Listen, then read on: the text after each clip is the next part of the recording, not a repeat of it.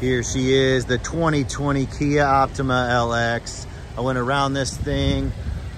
Inside, outside looks great. I'll point out anything that I can see, good, bad, and ugly. And of course, you are always welcome to check it out for yourself.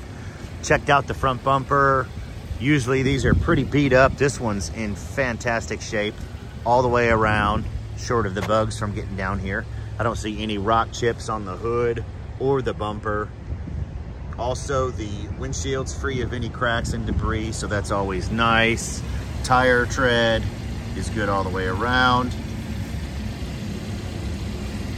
Perfect, perfect there. Coming along the driver's side, nothing sticks out.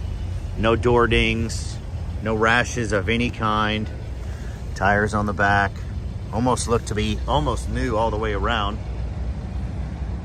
You got parking sensors in the rear, backup cam, trunk and everything is in perfect shape.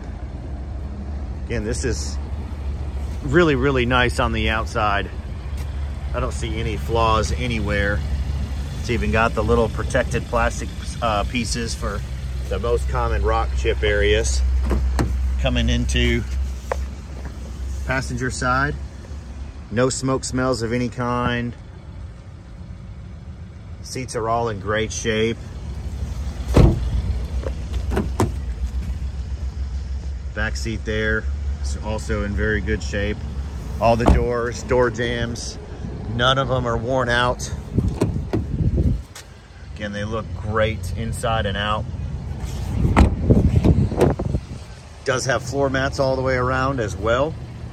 Coming into the driver's side, you've got the manual driver's seat. You do have blind spot indicators. You have a lane keeping assist system, Bluetooth, backup cam. It's only got 59,000 miles on it. Really nice. Normal wear and tear on these little chrome plastic pieces, which is pretty common. But again, super sharp, super clean, inside and out. 2020 Kia Optima LX Perkins Motorplex Jackson.